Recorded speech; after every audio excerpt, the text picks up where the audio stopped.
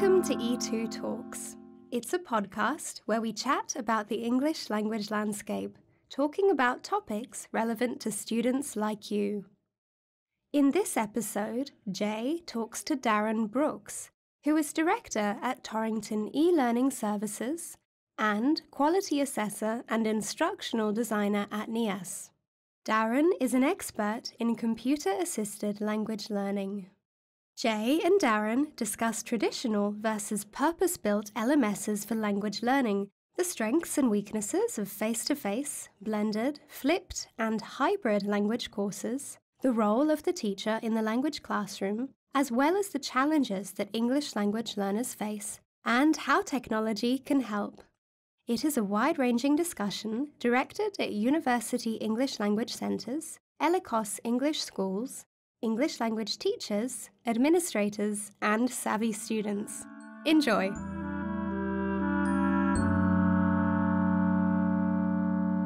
Hello, Darren. Hello, Jared.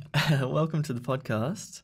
Um, so, I met you the other day when you came to E2 Language to audit us as part of NEAS, and um, I always knew you had a background in language learning technology, computer assisted language learning, but then we started talking more deeply about it, and I was sort of, I think you may be the most uh, impressive person I've met when it comes to this topic. Like, you really know your stuff. Do you think that's fair to say? Um, well, I know. I know a bit, um, and mainly from my experience and my work with NEAS, because NEAS quality endorses now, so we do an ins- assessment, so we don't uh-huh. actually audit um, anymore. We we quality endorse. Um, now that's a good thing because in terms of quality, I'm always looking at uh, the quality and the best practice aspects of a centre's program. So I'm okay. very, very interested in what is best practice in online learning, yeah. and that that really encompasses, um, you know, uh, talking to students. Uh, so what what do they think is, um, you know, what is giving them uh, the goods to achieve their learning outcomes? And with technology, one of the biggest advantage uh, advantages I'm seeing these days is the um, ability to give students not only speaking practice but confidence in speaking and um, ways to make their pronunciation uh, clearer, more comprehensible to um, the native and non-native speaker contexts they're going into in their professional and academic lives. Okay, all right. So one of the big misconceptions that I see when we're talking about education technology is the difference between education technology and technology that's purpose built for language learning.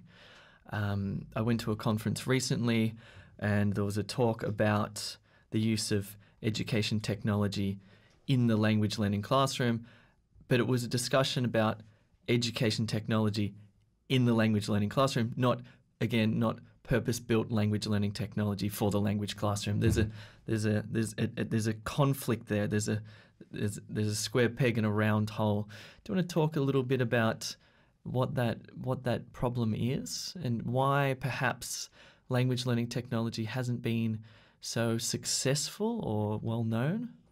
Um, there's there's a few reasons. The first first one is that um, a, a lot of purpose built solutions um, are often too expensive for right. a small centre to buy into. Mm-hmm. And what tends to happen is, is, it will be individual teachers using um, an open access technology that may or may not have been designed for language learning. So they're using it, as you say, like a square peg in a round hole. Mm-hmm. They're they're using it and adapting it um, to suit the language learning classroom. Having said that, a lot of innovation has come mm. out of that. Mm. I wouldn't want yes, to discourage individual teachers kind of playing with different technologies.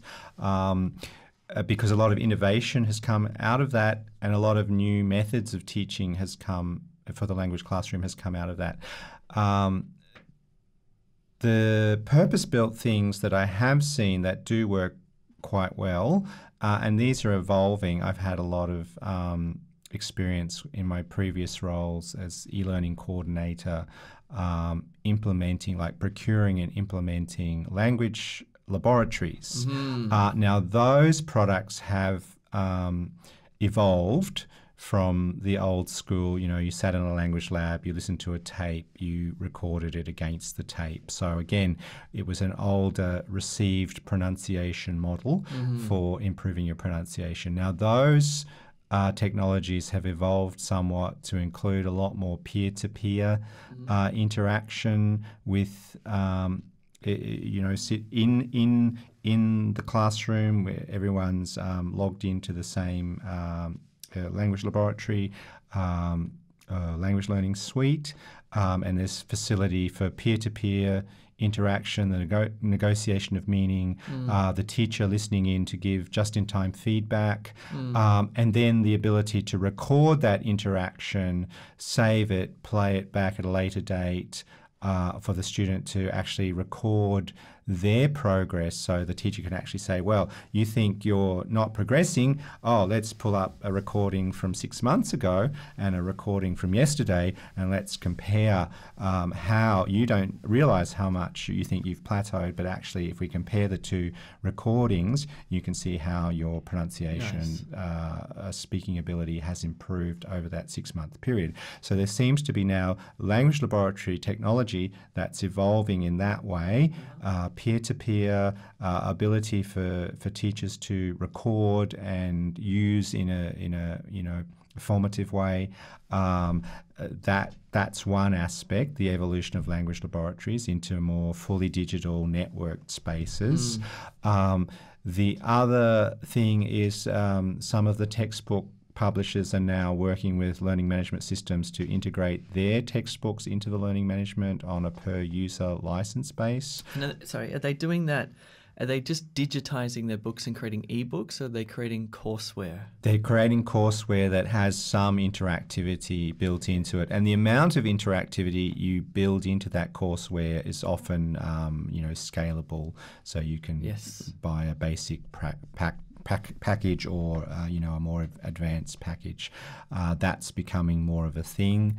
Um, there's a lot of open access um, language well not primarily language learning software but software that can be adapted to language learning that um, learning management systems um, use as LTI learning and teaching um, instruments or something like that So little plugins. Yes, plugins. are So the more uh, savvy uh, learning management system providers are uh, leveraging off what teachers and students are using, what what they use, what open access tools they are using, um, and integrating those into the learning management system. One that springs to mind is the H5P suite of um, authoring tools, which is very comprehensive and can be adapted very easily to language learning. They have a dictation tool. They have um, the old Pelman matching cards that can be digitized um, for, say, um, antonyms, synonyms, that kind of thing. So, Sure.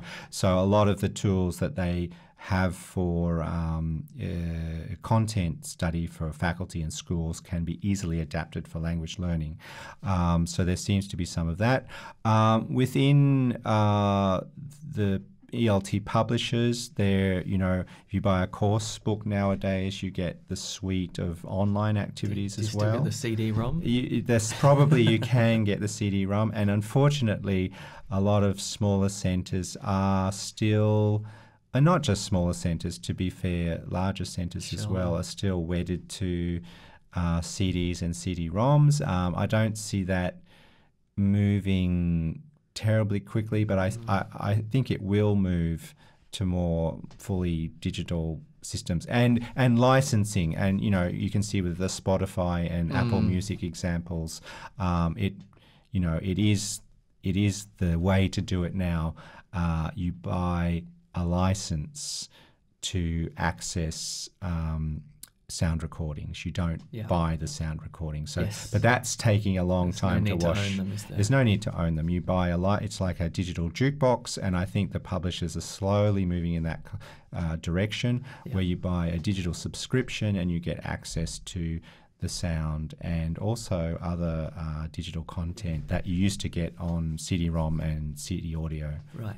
So the two big problems that I see in technology and language learning is the first one It's the square peg in the round hole. We're going we have to adapt um, technology that's not purpose built for language learning for the language classroom.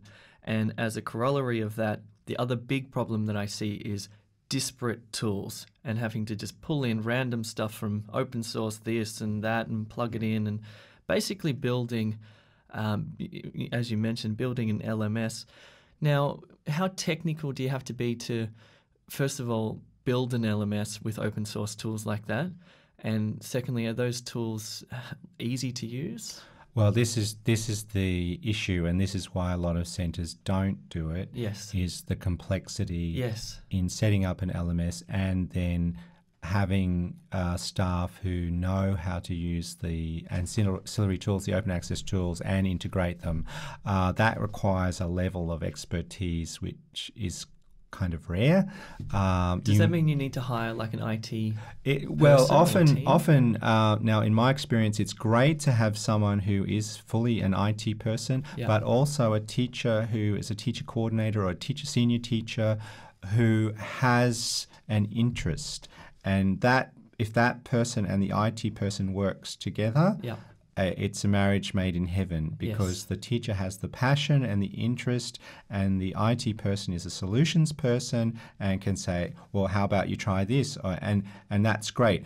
In addition to that, the, the if the, the centre employs a person like that, that person is more likely to want to be involved in a special interest group like a SIG, an SIG, yep. of other similarly placed ELT professionals where they can discuss and it's it's breaking down the silos between centres because often you have people working in isolation, maybe a teacher who has some knowledge or interest, working on their own, mm. doing really great stuff yeah. that another person at another center who's just starting out could really advance, you know, um, advance their career by getting together with that person. So that's why collaboration. And talking to other people in the industry that are doing the same thing. And you know even like oh what does your IT guys say about that? You know they yeah. compare their experiences with their support staff. Oh what's your solution for? What works at your center? Because what works at one center may not work at another yeah. because they have different systems and whatnot. Um, but that just having that special interest group of like minded individuals who have the IT support and an interest, and maybe they've done some studies like, um, you know, um, computer assisted language learning within their master's uh, program mm. or even postgraduate uh, TESOL programs have yeah. specializations in computer assisted language learning. But that needs to be developed through a community of practice. You know, it's not a static thing. Oh, I studied CALL at university and you know, well, that was 10 years ago. Right. Well, things have moved on dramatically since then. So that person needs that community of practice to, um, you know, not only upgrade but sustain their knowledge of what's what's working and what students are using. You know, because so many students are fully mobile now. And this is the thing with um, mobile phones, a lot of teachers are uh, scared of them, ask students to turn them off, put them away, confiscate them. But there is scope because students use their mobile phones for everything. They yeah. use it for shopping, they use it for directions, for finding their way, for communicating with their family. The mobile phone is their lifeline. Yeah. Uh, and then for a teacher to say, I'll put it away, it's a distraction, you're only going to use it to you know, do Weibo or something in Chinese in your language. Well, it comes back to classroom management. Yeah. That that's up to you as a teacher and your familiarity with the online apps for apps for language learning. And I used to always say, okay, well, turn your phones off or put them at the front on my desk. But now we're going to do. I want you to come and get your phone. I want you to scan a QR code. Or nowadays, people use, um, you know, uh, Bitly. Um, what are they called? Tiny URLs yep, and yep, things. Bitly, yeah. But people are still using QR codes, but they're a bit old school these days. Bit, but um, uh, what you can do with a mobile phone is that, and it comes back to classroom management. You know, take your uh, your your mobile phone out, download the sound, the BBC, the Macmillan Sounds of English apps because there's it's a great app. You can use it outside of the classroom. I'm going to go through the the sounds today, the long and short vowels. You can see how they're pronounced on the app. Yeah. We can do some little activities where you you find them and, and and apply them to our reading activity or whatever we're doing at that point in time. Okay, that activity is over. Well, put your phones away or put them. You know, Sure. it's it comes back to good classroom management. It's not the technology per se, but it's the way you use it in the classroom and showing the students the value of using their phone for English language learning uh, is is a- as a learner strategy. Uh, that comes back to good classroom management and the skills of the teacher. So it's it's actually an old old thing, you know, it, teaching students how to use the technology in a meaningful way. It still comes back. If you just leave the phone to the to the to the students and say, "Oh, there are things out there, go and find them," it's not going to work. You need to actually proactively direct that as the teacher, um, and you'll get the more you do it, the more washback you'll get, and the more you know students will realize, oh, I can use my phone or my tablet Yeah. as a language learning device. Now, yeah, I, I yep, I agree. I agree, and um, I think teachers quite rightly get frustrated with students looking at their phones all the time and whatnot. What about building? What about okay? This is a bit of a hypothesis. Well, not really actually, because this is what we're trying to build at the moment. But imagine a classroom where students sat at a, a workstation, um, so that, or, or a laptop or a tablet in front of them, and the entire curriculum was actually digitized, and so you know, th- there's still room for teaching. The teaching happens, but the activities, the interactive activities, are done on the tablet or on the computer. Um, all the analytics are tracked. All the submissions are sent through the computer to the teacher. So there's no paper. There's no, um, you know, marking marking pieces of paper with red pens. Um, how f- uh, you've had a look at Learning Base, the the, Mhm. the platform that we're building, or E2 School, I should say. What were your what were your um, what did you think of that? Uh, I like the fact that the teachers can customize the learning activities from a suite of tools. This has been my experience with um, a lot of the online learning I've done.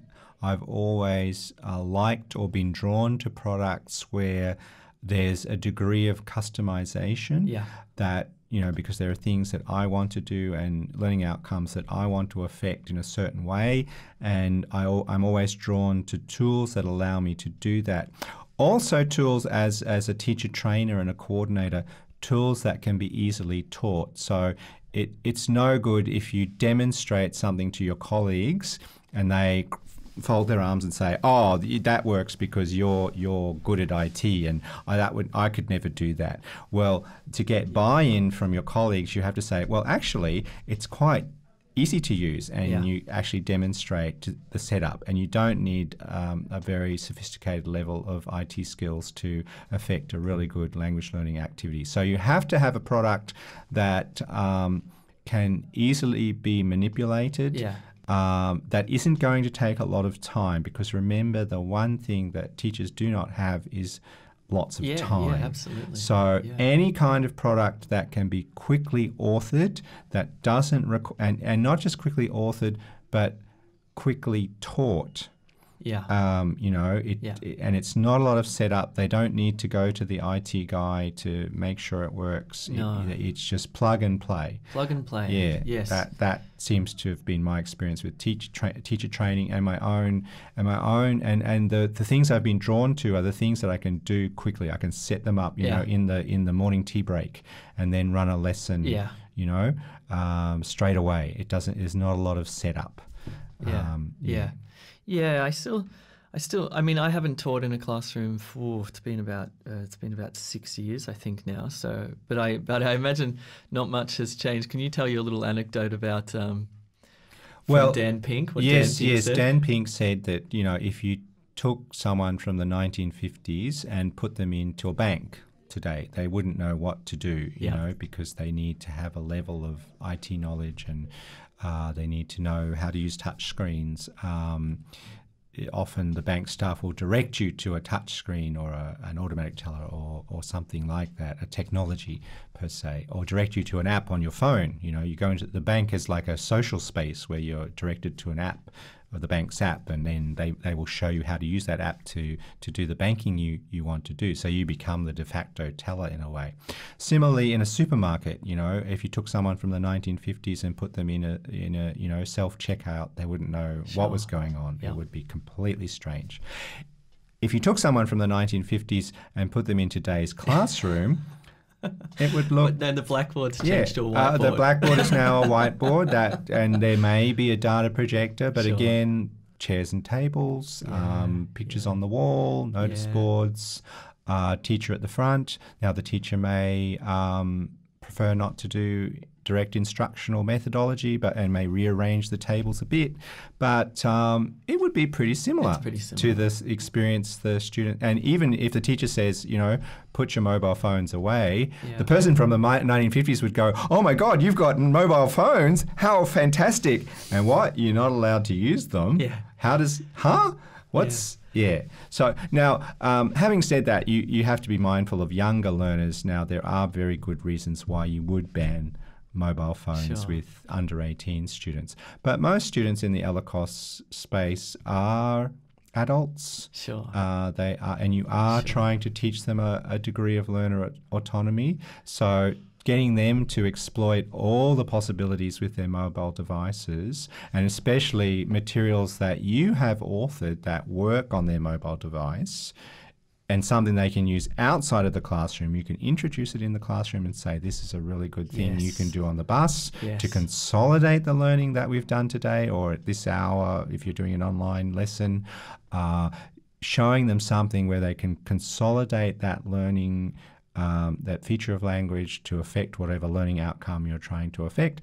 Um, that's what we didn't have before. That's what we didn't have in the 1950s. We had books and um, you know with answer guides in the back. yeah, it's, it's, um, it, I, it's, Na- it's- the mobile technology has completely changed the game. yeah. Where most you can, people are still using books, though, right? Yes, Textbooks yes. are still the foundational Al- object in the although, classroom. although I'm, I, I recently I've been going to Cambodia TESOL for the last uh, almost ten years now in Uh-huh. Phnom Penh, um, and at first I noticed that that there was very little mobile technology. Yeah. Uh, people, everything was very paper based. I had to be very careful when I did a presentation at the conference that to make sure I had handouts. Um, Sure. The internet was virtually non-existent. Sure. I went last year, and every person has the latest Huawei or Samsung, ta- you know, not just phone but phablet, like the combination, the Yeah. big screened uh, mobile phone.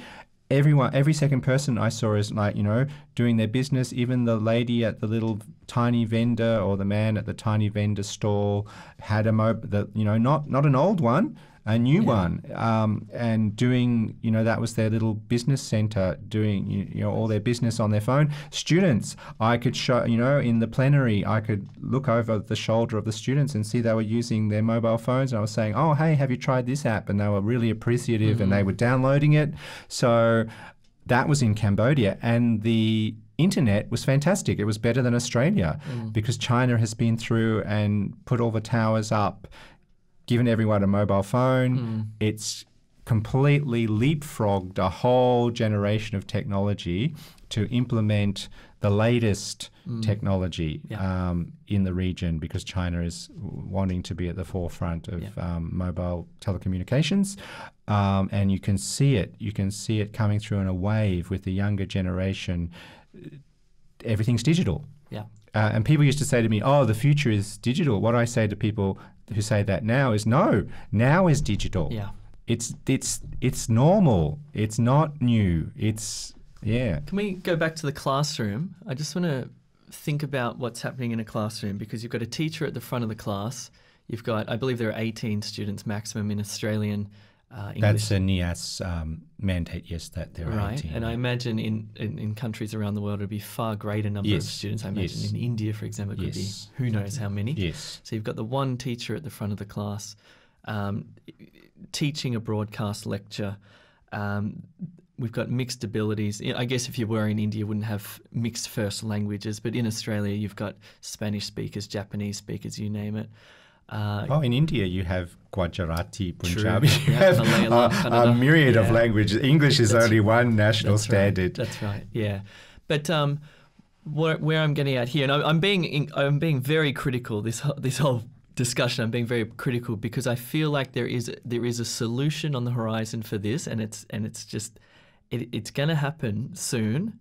Whereby students will get personalized learning in the classroom and it will not come from one teacher because that one teacher at the front of the classroom has no idea how much grammar or vocabulary you have, has very little idea how good your pronunciation is because you get to speak very little in a classroom. Uh, I spoke to Carnegie Mellon University this morning about um, using some of their software that they've built. Um, they've got a team of 450 researchers working full time building um, speech recognition technology, mm-hmm. like state of the art stuff. Anyway, she was saying that in a classroom, on average, this is the research that people speak about three times per class. Hmm. S- And she said said that, and, and this is true, that speaking, and you referred to pronunciation before, it's a physiological, muscular skill. It's like playing tennis. So hmm. imagine playing tennis, and once a week in your English Yes. classroom, you get you get to hit the ball three times. Correct. How good are you going to get at tennis? That's right. You're It not takes a get- long time. You're not going to get good mm. at tennis doing that. So, you know, some of the solutions here that they've built, which are radical, they've got pronunciation evaluation software now that is on open ended questions. So you can describe an image mm-hmm. and it will give you feedback on pron, fluency, word stress, grammar, like all the elements, prosodic features of, of, of spoken speech. So we're sort of we're plugging that into the platform now. Um, so I'm, I'm still, you know, I, I like these idea of language labs, and I think they went some way. And and I saw a photo from the 1950s of a language lab, and it hasn't changed much today, but I'm sure the technology can be radically different. Um, let's talk briefly about other modes of delivery. Of course, face to face, I believe, is is woefully deficient. Um, blended learning and uh, hybrid learning and flipped learning. Do you want to work with me here and sort of define some of these these modes of delivery? Because I think they're sort of Sure. ambiguous. Yeah. Uh, well, the one that I'm most familiar with is blended learning, Uh-huh. where some of the course is delivered face to face and then other components of the course are delivered online. The research behind blended learning is very popular. Yeah. That is the mode that you get the least attrition. Yeah. Um, fully online, you tend, you know, you, you look at your Coursera MOOC kind of analytics and you get like 10% completion rates Yeah. because it's fully online and, Yeah. and students feel like they're not supported, that there's nobody at the other end. And this, self motivate. So I- yeah, difficult to yes, self motivate. very, I've done that yeah. before. I've signed up to a MOOC being impassioned about a correct. subject. I get, but also some of the um, video lectures in those MOOCs are so Yes, boring. very you get dry. thirty seconds Yeah, in and you think, yeah. I can't stand this. Yes. Yeah. And and the the the sad thing about MOOCs is basically a lot of the time they've just transferred a ba- a face to face lecture to an online space with actually yeah, that's right. without thinking of how the learner would actually digest that content. Uh, video needs to be short. Um, you know, people aren't going to watch an hour long punctuated. or punctuated, broken up, uh, scaffolded in some way that a learner is going to be motivated to um, to watch it. yeah. Uh, and often, the way I myself personally have used MOOCs is for just in time learning. I've signed up for a, a whole MOOC just to do one module, Gotcha. and that's all I wanted. Yeah. And that seems to, that's why it has such a low completion rate, is Yeah. because people are doing that. They're cherry picking the just in time uh, learning aspects of a MOOC for their own particular professional development Yeah. or learning, and uh, that's fine. But in terms of analytics and the success of, of MOOCs per se, it doesn't look good if you've got only a 10% completion rate. Yeah. Going back to blended learning, uh, the reason that blended learning is far more successful is that the the face to face relationship, and this has been my experience, the actual meeting people in the flesh, setting up, you know, oh, these are the people I'm going to be working with throughout the course Yeah. and establishing that relationship then when you do go online it's not all you know is this person really a person or are they a bot or you know you never know whereas with a, a blended solution you actually know that that's a real person that you've established a relationship with and so the online components are much more successful Yeah. and then the ones uh, that I've seen that are very, very uh, well received by students and very, very res- uh, successful is there's an opportunity to come back at the end and have another face-to-face meeting to, to finish off, and then you can discuss the issues you might have had online, things that did work Nice. well, things that didn't work. So the blended space and a lot of um, uh, in particular, universities are moving towards that. One that I think of that comes to mind is uh, Victoria University that does the block mode. Mm. They just do one uh, unit in four weeks. Right.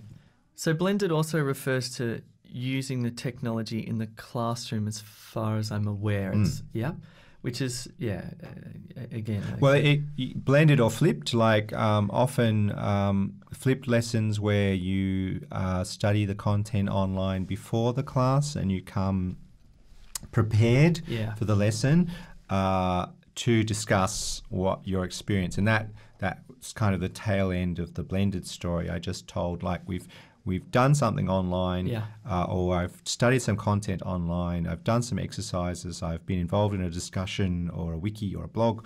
Um, you're coming back into the classroom to discuss that face to face. So that that's kind of the flipped model, or um, and and that works if all the students have been engaged online. Like if they've gone online before and it hasn't been very engaging, they come to class and they, well they don't really know the content, and you have to use the class time to teach the content that they should have studied. Then it kind of falls apart. So that's one criticism of flipped.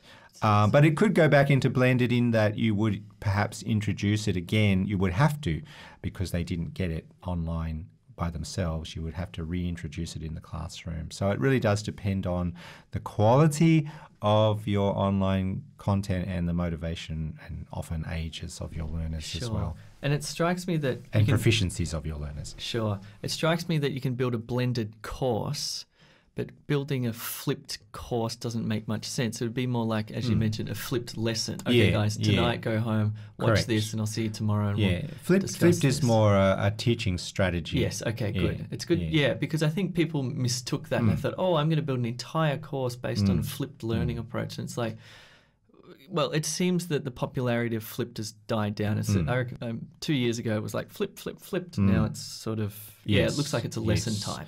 Yeah, and it's um, something that you would have in your bag of Sure, great. methodologies. Yeah.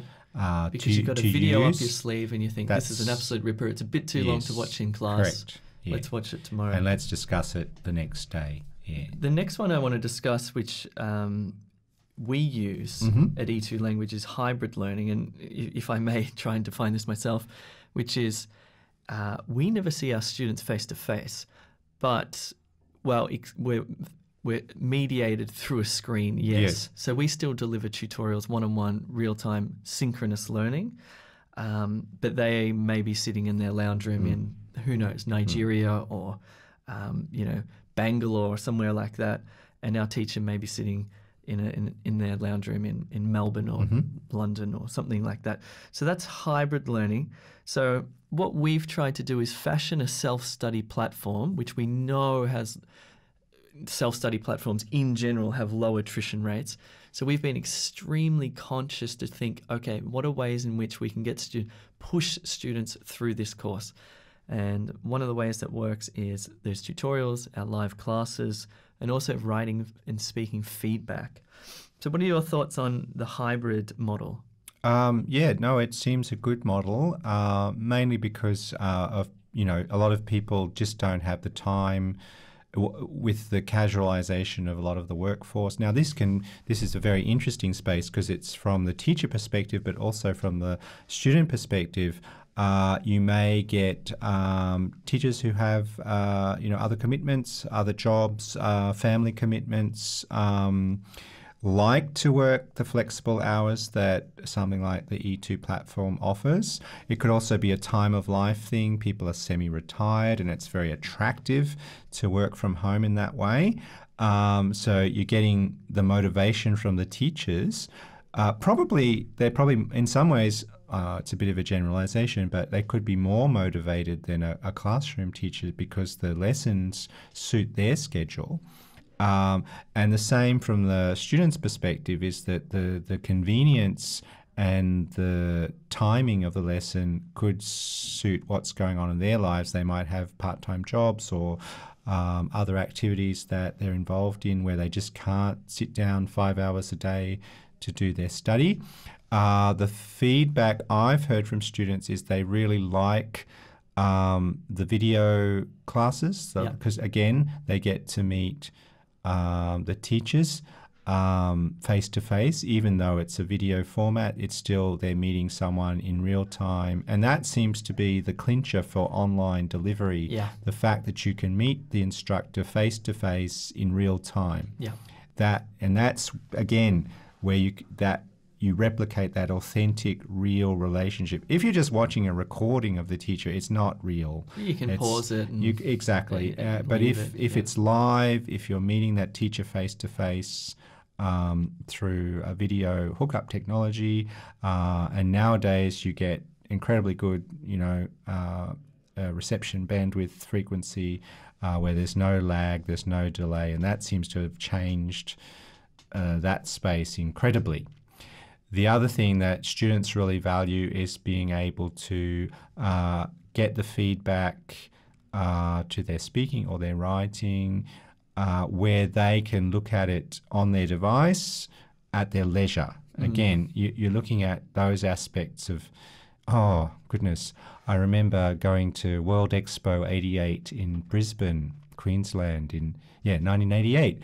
And that was the theme of the, the expo, Leisure in the Age of Technology. Mm. And I thought, oh, this is all silly. You know, this will never happen. This is just a pipe mm, dream. Mm. And now I'm seeing it, you know, leisure in the age of technology and how people are reinventing how they study, how they work.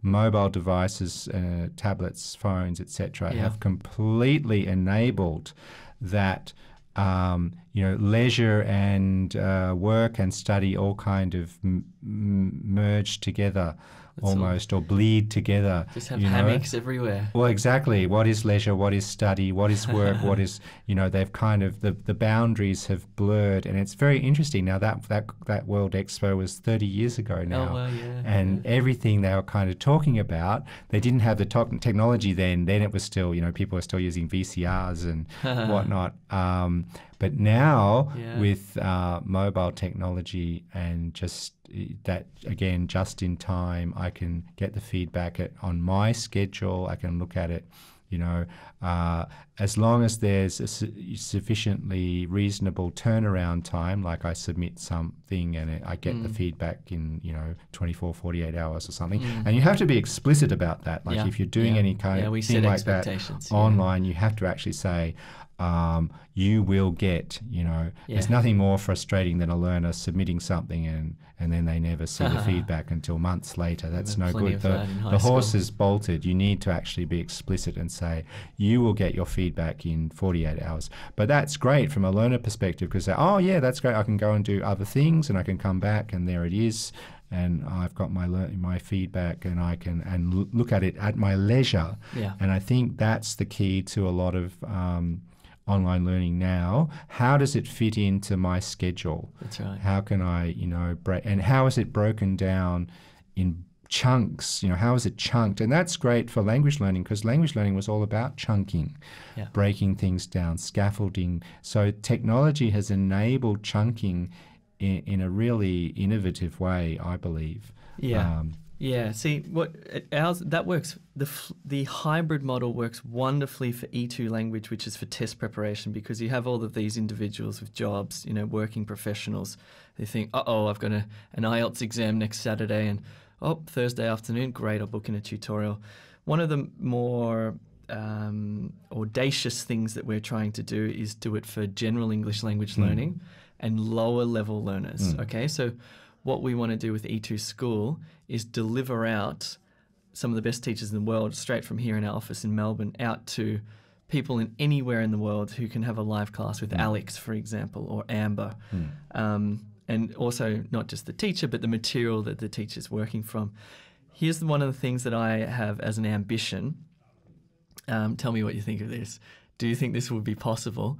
What I want to do through E2 School is educate somebody from an A1 beginner English language level right up to get them to take an IELTS test and possibly get an IELTS 8. What are the what's the likelihood of that do you think? well, it's very ambitious. Computer mediated. it's very ambitious. However, it reminds me, again, going back in time, getting into a time machine and going back. Uh, when I was in Japan years ago, I uh, met a lot of JET, the JET Yep, yep. teachers, who would always complain that oh I just feel like a, a human yeah. well I feel like a human tape recorder Ah, yes. that the whole lesson the English and again big classes of 50 kids in in, in junior middle or was it junior high school um, the Japanese teacher delivering the lesson mainly in Japanese and then uh, I was just standing there and I was called in to be the human tape recorder. to- yeah. yeah, exactly. To, to give the example, to demonstrate the example in English. Now, the technology, it, it's still kind of the same model, but the way I'm seeing it is the technology is actually taking your human tape recorder Yeah. and giving them a place. So you could still have the, the lesson in, in the you know the pa- part of the world you want to market to, uh, with most of the lesson being delivered in the native language. Yeah. But the technology would facilitate uh, not a, a, a human tape recorder, but someone with um, English language uh, knowledge, expertise, uh, methods of delivery that that teacher could access as a resource. uh so that that it could work that way, but you would, especially with lower levels for linguistic consistency, you would need someone, a native speaking teacher, to facilitate the online class as a resource Yeah. because you couldn't with low levels like looking at an A1 I don't see how you could um, hmm working remotely I don't see uh, I might be a bit old fashioned or not looking at it the right way but I don't see how you could just leave those learners with the online teacher Uh-huh. uh, you know without some intermediary some Yeah. native speaking teacher directing it Yeah. and using Yes. that that as a resource yeah Yeah. uh, and so it's taking you know the the jet program years ago taking the human tape recorder and Uh-huh. actually making that person Yeah. center stage Yeah. and then the native speaker teacher facilitating more and directing in the in the um, native language Yeah, yeah. We need we're for our level beginner level, for example, where we we have to build in translations. I remember I remember looking at a textbook. I was studying Korean. I was living in Korea. I've done this twice actually in two different countries, but I'll talk about Korea. Looking at a textbook that was all in Korean, and I sat in that language classroom for weeks and didn't learn a thing. Hmm. Hmm. It was just absolute abstraction. Yeah. Like to the point of absurdity, and the teacher hmm. speaking to me in Korean. And, Well, and that- that that, um, that was like Yeah. that was it. I walked away with nothing. Yeah, well, that's always brings me back to Stephen Krashen, and he has. If you go online on YouTube, you can see his great lecture about how language input needs to be for any learning to take place. It needs to be comprehensible. Yes. So you can't uh, pitch your lesson over the proficiency level of the the What's students. his thing? I plus I one. plus one. It must But have he stole that from Vygotsky, he did did, the zone yes. of It's basically the? ZPD, yes. Yeah. That's right. And that's where um, the peer to peer is very important because you establish these um, negotiations of meaning Yeah. where there is a role for the teacher to step in when two learners disagree on uh, the correct form or pronunciation or grammar point. Yeah. Oh, I think it's this. I think it's this. You know, the more proficient, the, Yeah. the more knowledgeable peer will say the right thing, and then the less knowledgeable will be a little will think it's right, but not quite sure. And then there's the role for the teacher to step Yes. in. So Krashen was great, and I still go go back to Stephen Krashen for that. And the fact that he demonstrated that by doing two lessons, one in which he just spoke German. Uh, he did his full lesson in German, and it's a video. And then he said, you know, after it, okay, what, how much lear- German did you learn Zero. from that? And there's zero, of course, because it was all in German, and there was no, uh, it wasn't situated in any context. It was just spoken language, and of course, the learner is not going to uh, acquire any language because it's not comprehensible. The second version of the the, the lesson he did was he he used um, pictures and uh, drew and it's something a technique I've always used with younger, I mean uh, less proficient, lower level students. He drew and he repeated with his drawings all of the features of. I think he was drawing a face with ears and eyes, and people could see it and um, uh, locate the language. The language was locatable and Mm. contextualized. And Krashen brilliantly showed on a video lesson. Yeah. It was a fully video. The two modes: the yeah. fully spoken, and Yeah. then the one where it was comprehensible, Yeah. where he'd used pictures and uh, pointed to parts on his body and uh, repeated verbs while he was doing that. And so you could see um, it was demonstrated uh, contextually the features of language being situated in their correct context so Yeah. that the learner could understand it and acquire it.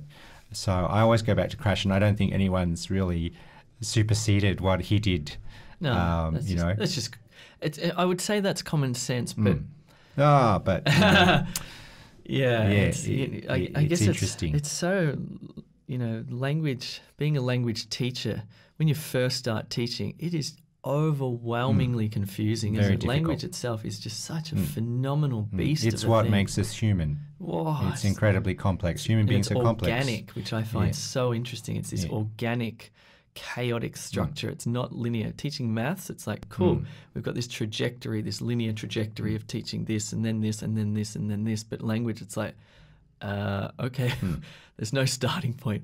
Where Hmm. No. do you jump in? You can just jump Correct. in anywhere, and but it's all branching off and interconnected and Well, my biggest complex. learning from that, and having used a lot of textbooks, and particularly in the de- direct entry space in um, university preparation programs, Hmm. um, what I found was there there was too much language okay. that. Uh, a lot of, and this is no one's fault, but it just seems to be those intensive programs where there is so much to get through. There are so many uh, features of language that you have to teach in a 12 week period, but students don't need them. yeah. They're low frequency. They Yes, yes, yes, I always thought, well, why not just teach them the things they need? And you can reduce it to, you know, the grammar to only the grammar that they need for their faculty study, and it's not as much as you think. And Well, this there- is well, the big learning. Well, yeah. there's fre- there's we know a lot about frequency of vocabulary. We know that there's the top 2,000 Mm. Sure. word list, blah, Yep. blah, blah, blah, blah. But there's the frequency of grammar use Mm. as well, where the simple present is used, and it's a power law, it's used Yes. 80% of the Yes. time. Past perfect is used 0.01%. Exactly. So why do Don't we spend so much don't time teaching a feature of language that they're never going to need, and they won't even remember when they do need it? I know, I know. It's yeah, it, yeah. I know. It's yeah, it's a wild, wild, complex beast. Um, tell me more about these pathway programs because here I, at E2 Language, you know, we're, we're building language le- learning technology. That's what we do, but we're quite isolated from. I just sort of get it, get to peer into what universities are doing, and a few. I've visited a few universities and sort of talked to them about. Um, you know, using learning-based E2 school, E2 language, and they sort of look at it and they think, "Oh my God, that's the, you know, that's wow, you've solved the problem of technology and language learning in many respects." But there's still a resistance to using it. Um, tell me what what do these pathway students need then? What what and, and how could it be delivered to them better? Um, to my mind, um, what I found pathway students needed in terms of technology was a familiarity with the technology that they would be using in their faculty courses. And there's no easy way around this because um, decisions are made about learning management systems and you know online textbooks integrated into those learning management systems and ways of teaching and learning uh, that have been decided by university committees, by faculty subcommittees. So the the the English language pathway provider is somewhat of a poor cousin, Yep. and they are very bound by decisions that have been made at the top level Yeah. Um, and in, at the faculty that the students are, are progressing into. Having said that, my biggest learning from that is you need to make students as familiar as possible with the learning management systems that they were going to be using, with the um, courseware that they were going to be using in their business course or their nursing course or their engineering course, to set them up so that they would not be disadvantaged and they would have advantage over someone who just came in to the faculty course on, a, on an IELTS score. And that was the feedback I always got from students. Oh, so I'm so glad you taught me you used the LMS or the courseware or some of it in the pathway program because I knew how to I knew how to use it and I could show the the people who came in on an IELTS score, they didn't know anything, and I and then the student, you know, lights up. They're so confident that they could actually demonstrate their technical skill. Um, in the learning management system or the courseware that the faculty was using. So, uh, in terms of a pathway provider, uh, I think that you need to actually um, acculturate. It's an it's an acculturation process. Acculturate the learner to what they're going to be using in their follow-up course. So if you can kind of use learning base or E2 language in a way that would actually uh, help students transition, you know, it's that transitioning um, Right. to Can their, I their higher level course. So the argument is, and I've heard this before, that that students need continuity between Moodle in their pathway program Mm. and Moodle that they'll use in their undergraduate degree. But does that? I mean, if, if that's if that's the strongest argument, I sort of see that as like. I, um, I see it as a weak argument because Hmm. if in the pathway program there's another LMS that is far superior in terms of language learning, surely the process of learning the new LMS, the Moodle, Hmm. before they go into undergraduate, shouldn't be that long of a process. And if they're spending six months, a semester, or two semesters, you know, shouldn't the LMS be one that's built for the facilitation and, and teaching of languages? You know what I mean? well, I- because I, I get this argument of Yeah, a well, lot. my I think, experience no, is to, to use both. Right. Uh, so I, the way I used the LMS in the pathway program was somewhat different to the way you know the business fac. Of course, by its very nature, that the way the business faculty would use it. So I was always looking at, oh, what can I? What does the LMS talk to? Yeah. What can I integrate it with? And uh, there you have scope. Why? Why? Why can't you use both? Why can't you have it sitting within the LMS? yeah, you why can build can't it as middleware. yeah. Uh, why can't it it, it it it act as an LTI? And I was that's how I was using the LMS in, in the English language Okay. uh, direct entry pathway programs. I was integrating as much as I could that was language learning based into the LMS, but I it, I needed to have the LMS there as well for that acculturation process Yeah. because every faculty uses the LMS in a different way anyway. Yeah. So it should be the same in the English language pathway programs that Yeah. we would use it, but we and what can I build into it? That's what I was always Yeah. looking at. That would help uh, with you know academic word lists, with um, you know the grammar that they needed, uh, video for Yeah. listening comprehension, uh, and in particular, um, you know, um, uh, mock lectures. Um, that was another big aspect of what we did. We tried to build in as many mock lectures, uh, and not and from uh, people whose accents were accents other than English, because yeah, within yeah. any, uh, you know universities nowadays are trying to be international, trying to be inclusive, trying to be in- diverse. So Yeah. a student from China could have a lecturer from, uh, you know, Bangladesh. Yes. Uh, a student from, um, you know, uh, South America could have a lecturer from Scotland. yeah. Uh, so you had to familiarize students with all the cultural backgrounds and Yeah. the the accents of the the faculty bodies that they were going into. Uh, that was very important as well. So um, I tried to build that into a lot of the listening comprehension as well, and then providing uh, scope for um, uh, in, uh, guided individual learning outside of the class where they could nice. uh, listen to those um, accents. Another project I worked on was using the LMS to actually build a learner strategy. Now, this could be some so a way you could integrate. Uh, your platform, but I used the LMS and other software Uh-huh. that I found, you know, op- usually open source because we didn't have lots of money. Um, but I built a learner strategies website with, Mm, that nice. sat within the LMS Nice. where we interviewed, we audio recorded students who had progressed into their master's programs, their higher degree levels. We interviewed them and we got them to tell us what their learner strategies were for EAP, what helped them when they eventually got into the faculty, and we broke it down to pronunciation, reading, um, listening comprehension, uh, writing, grammar. We got people from all the student backgrounds from Saudi Arabia, from China, from Korea, from Japan. We had an example from every single, because the thing that you will find with learner strategies, not so much English language delivery, but with learner strategies, how to actually learn what strategies, what students will listen to someone from their background Yeah. more than Sure. from an Aussie, middle-aged Aussie guy. So that was a really big learning, and there's a lot of research on that. And and I go back to um, old papers like the 1975 paper, Joan Rubin, what the good language learner can teach us. So actually yes. leveraging off.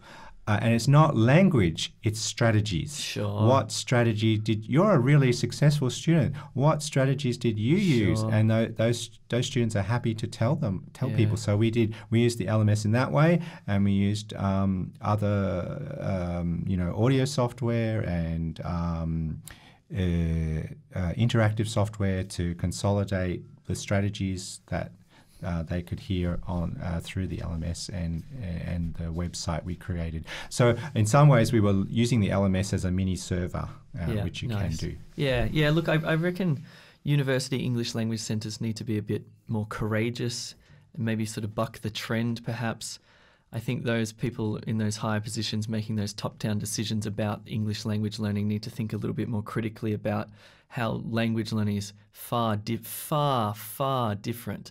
Such a different skill than, you know, you, other subjects that you study at university. Well, well, the thing there is what the the most successful um, universities uh, rely heavily on language and learning advisors Mm-hmm. within the course. Now that that's something that a lot of people and Do it's you mean not in the undergraduate course? in the undergraduate course, Yeah. correct, or postgraduate course. Now that's something a lot of people don't realize who are not from the English language space is that there is language acquisition, there is also language attrition. So if you have students um, who the only English they get was in their pathway program, they live in a household of other people who speak the same language as them. They work, or they're all Chinese. They work in a Chinese restaurant. The only place they speak and practice and consolidate their English is in the English language classroom, and those people go into faculty, and the only and, and it's reduced. The only place they hear English spoken is in their faculty tutorials and lectures, and it's content. It's not the skill of consolidated. Their their lang- there is language attrition. So there you have an opportunity to support those students through, uh, like a language and learning advisor.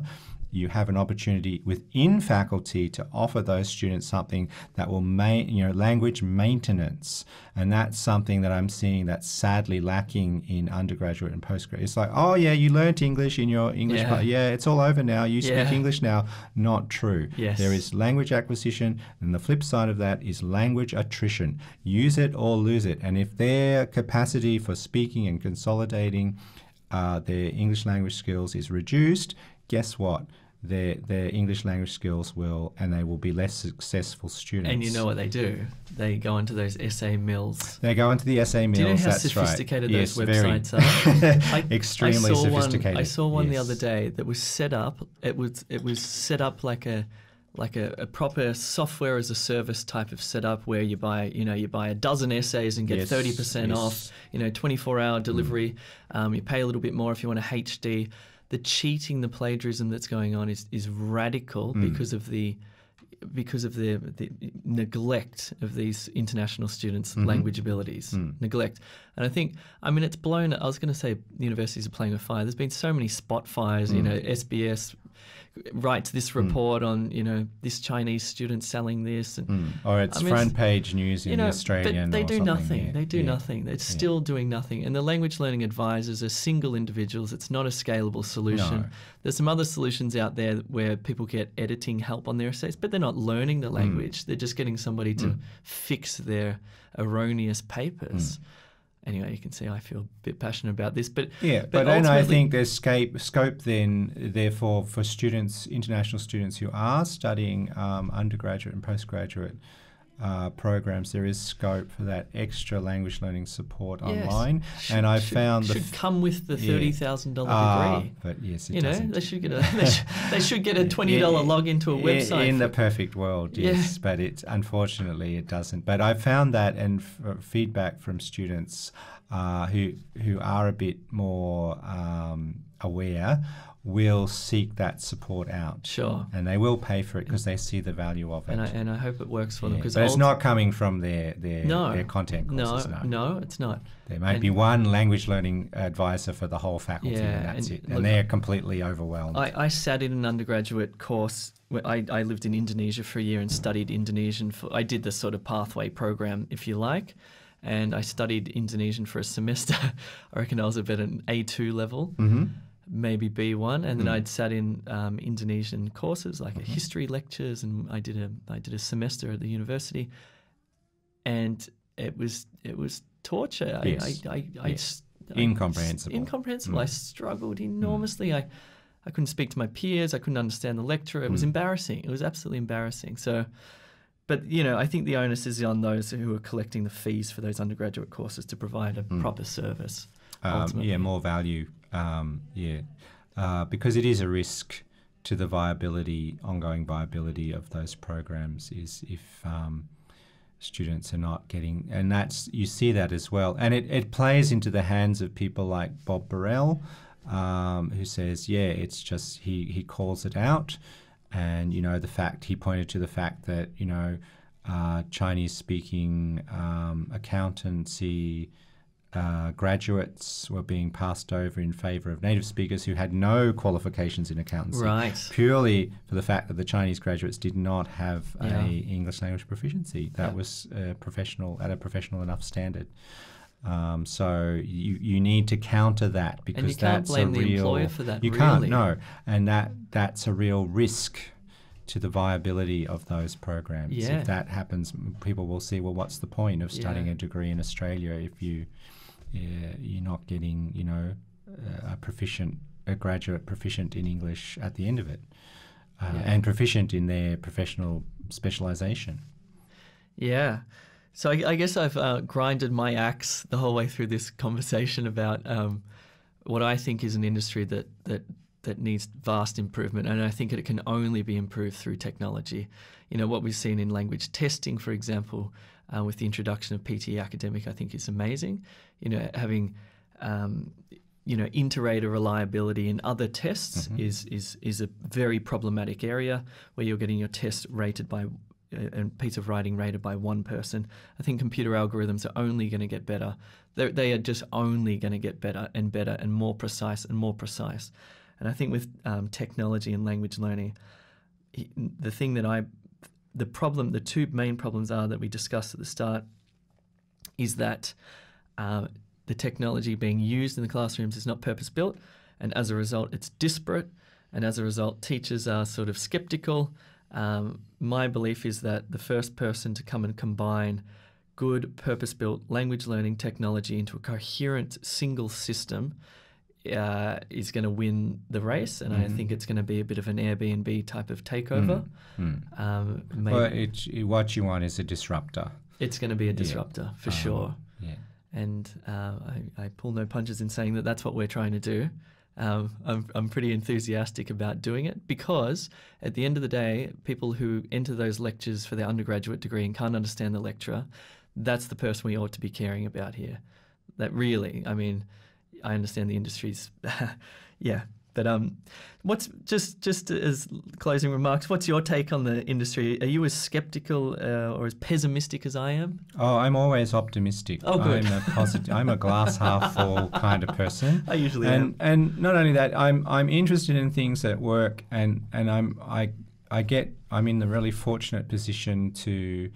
Uh, listen to a lot of face-to-face feedback from students Yeah. and what you think they uh, are happy with and what they're actually happy with it can often be too so i have to actually i've actually learned to actually Mm. pull back on a lot of my prejudices and biases and Uh-huh. actually I've started to listen a lot more and listen quite deeply to what students are saying Very about their experiences. Yeah. Um, and the the one thing I heard about uh, E2 language was, oh yeah, all that stuff that's on the platform, it's all out there, you know. Uh. But you have to do the work. You if you wanted to do it yourself, you'd have to go and sift through all the good and bad YouTube and That's sift right. through all. Where the good thing about E2 is that it puts it all in a, um, you know, uh, well organized, digestible uh, format in a really good, you know, engaging uh, digital space. So that's the kind of, and that's the kind of uh, feedback I'm I'm trying to hear. Uh, you know, uh, I'm not trying to hear, but uh, rather I'm I'm attuned to. Students' positive experiences about learning language. Mm. Did they have a positive experience, and not just a fun, not Yeah, not yeah. a fun experience? So that's why I always say I'm an optimist. I'm always listening for, oh, that really helped you. How did it help you? Can you Yeah. give me an example? Oh, it really helped me because you know I did the IELTS test ten times, and I always fell down in the speaking component. Mm. My jagged profile was always about speaking because I didn't have the pronunciation Mm. I needed to make myself intelligible. Uh, by doing the online program and getting the feedback, the, again, the just in time feedback, I really improved my speaking enough to change my IELTS profile or my PTE or whatever, Yeah. TOEFL, TOEIC. Um, so anything I think that can replicate and to break down that stress for students Yeah.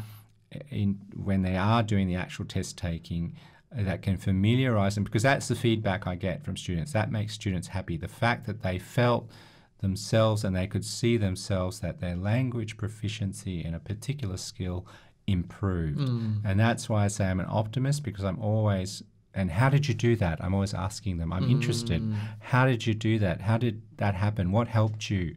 And that's what we we always ask in NEAS focus groups. How, how give us an example? How do you know that helped you? What, give us an example. We want to know.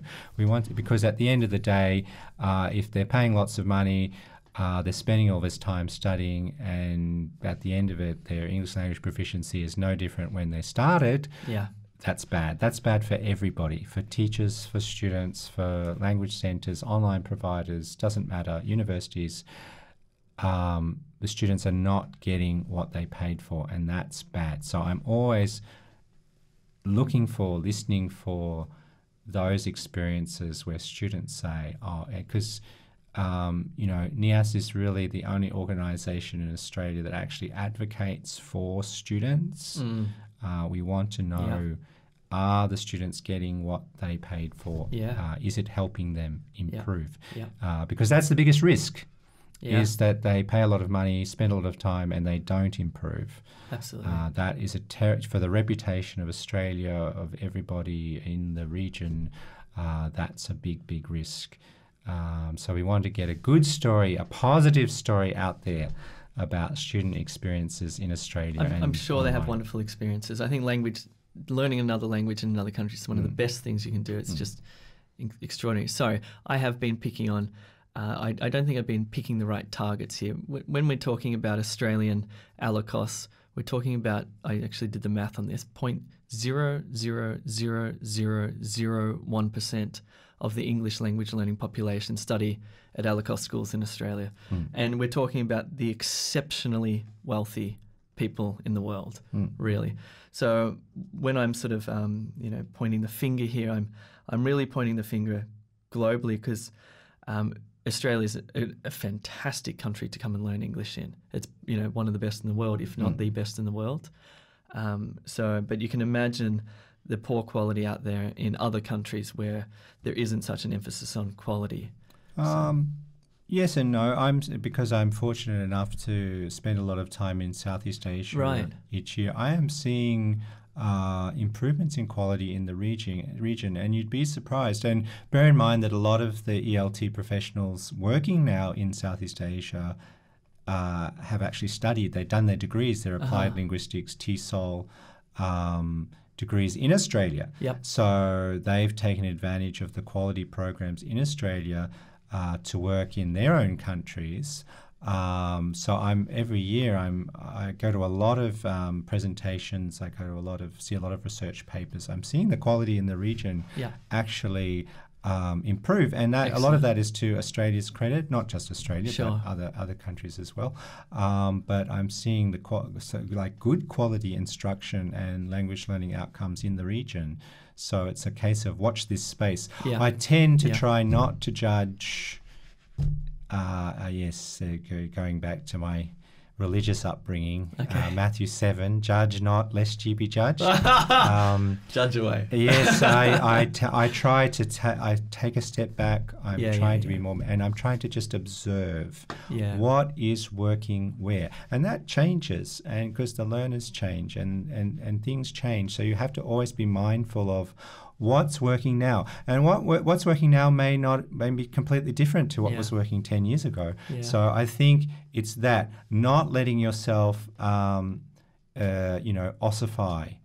Uh, Sorry, what's ossify? uh, uh, become a fossil, a Ah, bone. yes, okay. Um, you know, not not let yourself, um, you know, fall behind. Keep up, and that's why I'm so Yeah, enthusiastic yeah. about technology because, Yeah, me too. and especially special interest groups, people interested in how that's happening, because you're you're you're you're developing professionally. You're you're getting that little bit better, and at the end of the day, I think that that's a great life lesson. And it's a lesson we try to impart to our students. Doesn't matter where you're at, as long as you're, and don't think about your other student, you know, people are always going to be better and worse than you. But how are you better today Yeah. than you were yesterday? Sure. That's, and I think that's a good takeaway Yeah. for language learning professionals like teachers, uh, academic managers. Um, Sure, maybe last week was a disaster and it didn't work, but Uh-huh. don't dwell on it. How can you make it a little bit better? And as long as you're making things a little bit better and you're growing and developing, um, you're doing the right thing. Uh, Because that's what students are doing, and you're reflecting that. You're reflecting each other. Yeah. Um, I'm getting a little bit better as a teacher. You're getting a little bit better as a student. We're growing together. Um, here's some great online stuff that you can take advantage of. Uh, It'll help. Maybe it'll help you Well- in a certain way, or maybe it'll help you in a way that I hadn't even considered. Uh, oh, tell me about that. Tell me about that experience. How did it help you? I want to know because then I can use it to help other students. Well, one of the things that we haven't spoken about is the is the teacher's perspective on all of this because we've talked about how difficult it is to learn a language. It's you know phenomenally complex, but to teach a language, you see, what I quickly realised in the classroom was that you're not teaching English. You're a, you're a master of you know seven different hmm. disciplines of grammar, pronunciation, Correct. writing, reading, Yeah. listening, speaking, punctuate. Oh my God, trying to teach punctuation like that in hmm. itself is an art form. Hmm. So, you know, again, the role of technology here is is going to be so helpful for teachers who it's an ex- it can be an extremely anxiety, anxious, debilitating type of role as well if you're hmm. an incompetent English hmm. language teacher, Correct. which I was for a long time. And you know, rocking up in front of the classroom, they're all looking at you, and you don't know your grammar hmm. rules or whatever it is. That can be an awful experience. And so, of course, I think language teachers ought to be prof- you know, develop their professional skills so they can, you know, know that stuff. At least you can't know all of it. It's so so sophisticated and complex. But you know, going into a class and letting a piece of AI do a bit of um, pronunciation evaluation instead of you, it, it's it, it has to be like this because we I don't think we can train teachers to be that expert in all of those domains of language Sure. learning. That is, im I think, not impossible. That's radically difficult. Hmm. It is difficult, but it's not insurmountable. Um, It'd be amazing if we Mm. could, but if you plucked an, an English language teacher out of any school, like how many of them are going to be ex- domain experts in Mm. all of those different areas? Like, Uh, I think with that, it's good to actually because you know you, you're in danger of becoming master of all trades and jack of none. It's good. I've always found to focus on particular areas, um, and also direct. You know, it's all about directing students to um, resources, other people, having the support in place so that you can direct people.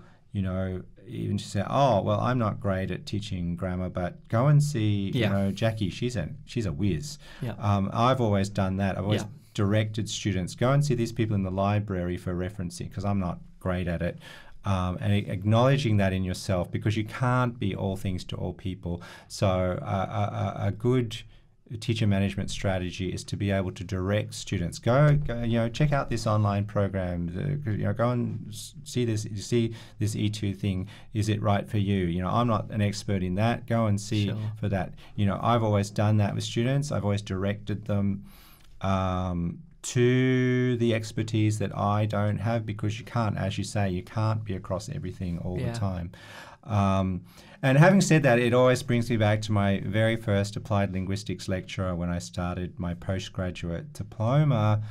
Dr. Robert Kleinsasser, who was a fantastic educator and mm. very memorable lessons. Yeah. And he uh, said he was from uh, the United States. And he had a very uh, loud, raucous American accent. And he said, Well, you know, language teaching is repetition at, you know, basically. And I thought, oh my God, it's right. And he said, how did you learn your first language? Sure. Well, I did it a lot and I made mistakes and I got feedback. He said, exactly. So why is it different? Sure. Oh, it's not different.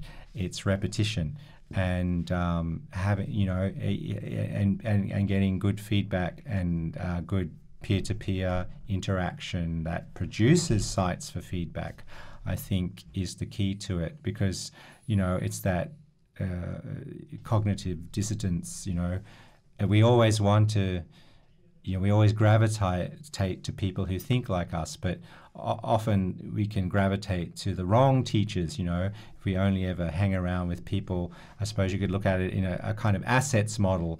With the same set of assets, you'll never get new assets. So if you're always with the same people doing the same thing, you're never going to learn new things. So yeah. the the good language learner will try to um, have as and I've seen them. I've had students who've done this. Uh, partic- I'm thinking of a particular Japanese student who deliberately took risks and put himself into mm, all sorts yes. of awkward social contexts just so he could yeah. learn, so he could get the feedback. Yeah. Of course, not every learner yeah. is like that, but you can encourage students to do sure. that.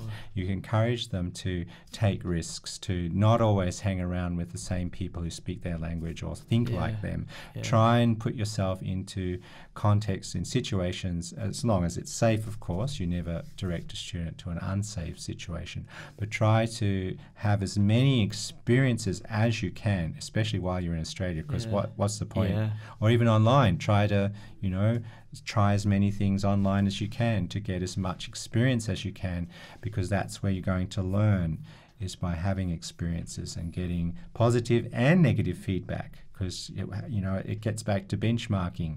How are you compared to other learners? Yeah. It's uh, what we tell the schools. How are you compared to other centres? It's benchmarking. You need to see yeah. who's who in the zoo and how you compare and who you can learn from. You know who has the assets that you want to make your centre better or your language learning better. Yeah. You know where are the goods? Who has them? I want to be with those people because I can I can learn from them. Yeah. Uh, I want to buy into a program because it's got that thing I don't have.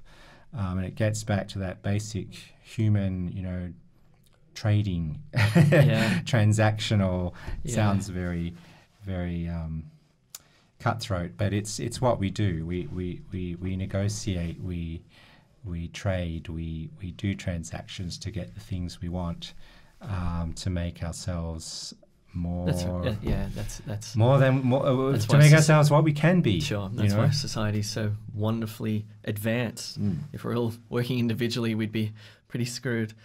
Um, thanks very much for the conversation, Darren. I really appreciated it. I thought it was um, yeah, it was really interesting, and hopefully, people out there listening to it, hopefully, it sparks some uh, cognition, some interest in in what we're talking about.